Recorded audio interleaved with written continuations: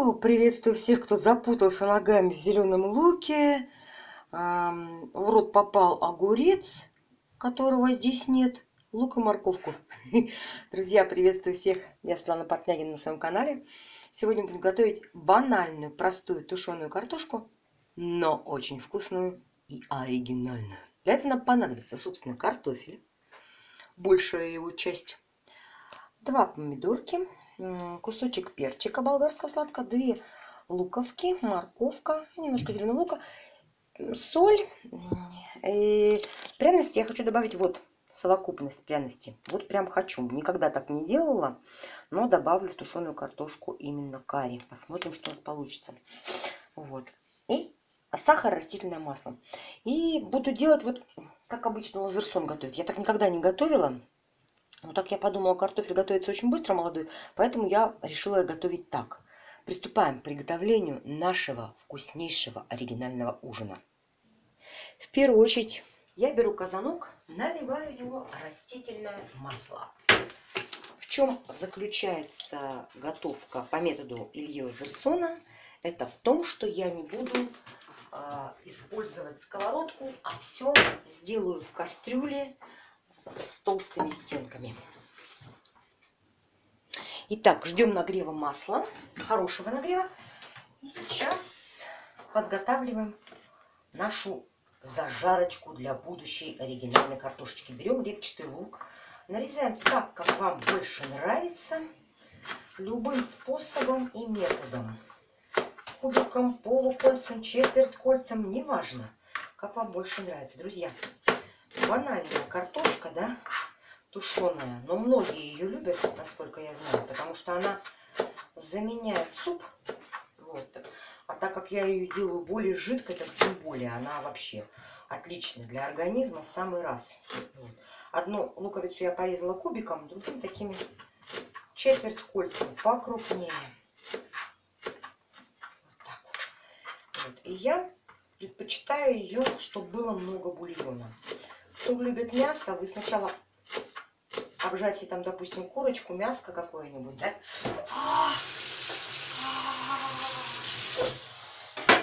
Сначала обжаривайте мясо. Вот. Затем уже начинайте делать зажарку. Потому что для тушеной картошки предпочтительно мясо обжаривать. Для того, чтобы бульон был насыщенный и вкусный.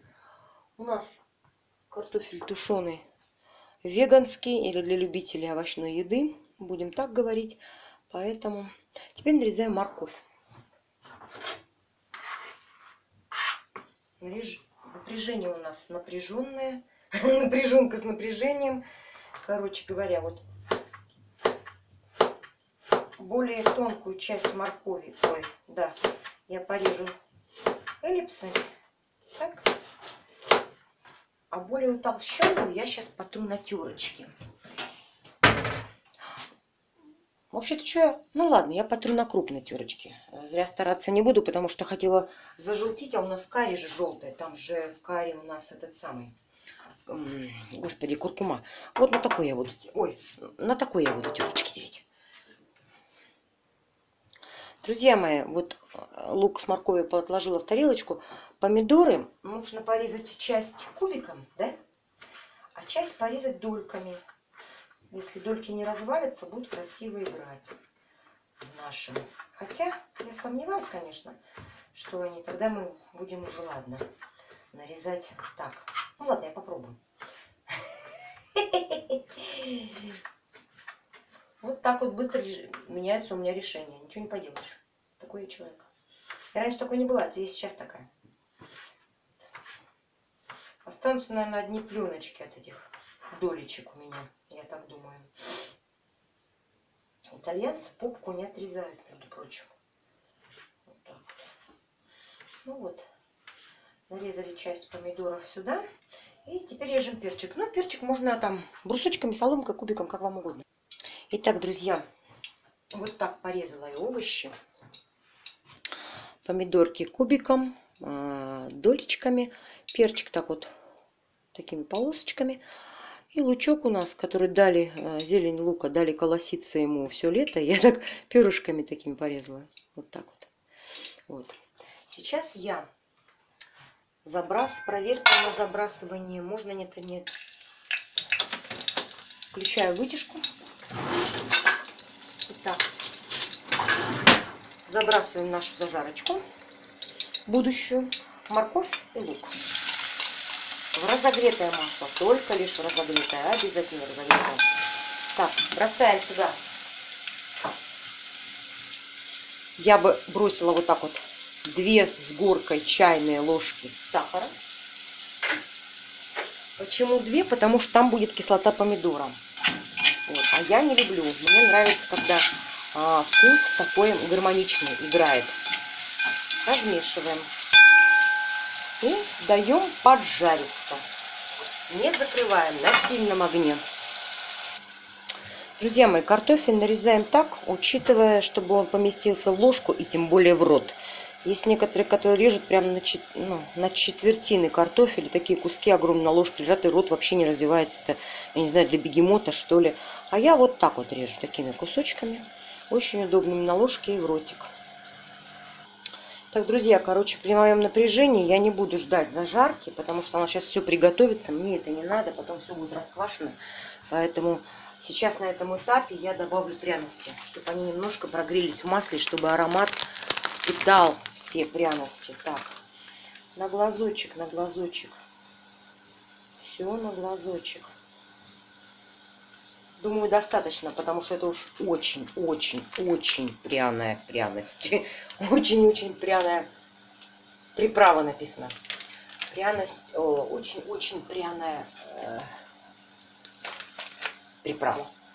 Хотела сказать, смесь специй. Не люблю я слово специи. Так, короче, размешиваю, да? Вот. Сейчас я... Ой, какой запах. Сейчас я разгребу вот так, как на сковородочке я вам показывала, да? На одну сторону. И в маслице я добавлю помидоры, чтобы они немножко припустились в масле. Как-то я вам вот буквально на днях показывала это, как помидорки припускаются. На сильном огне.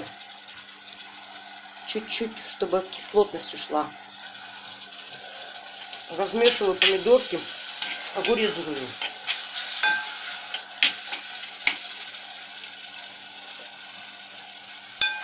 Все, короче, размешиваю.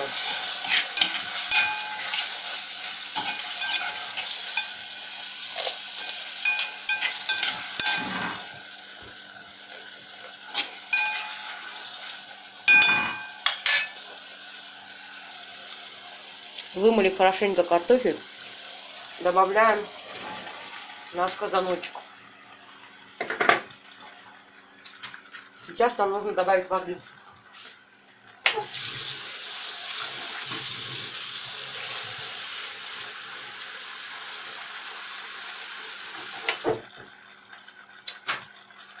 Воды добавляем по желанию, потому что не все любят жидкое. Я люблю. Вот мне самый раз будет так водичка.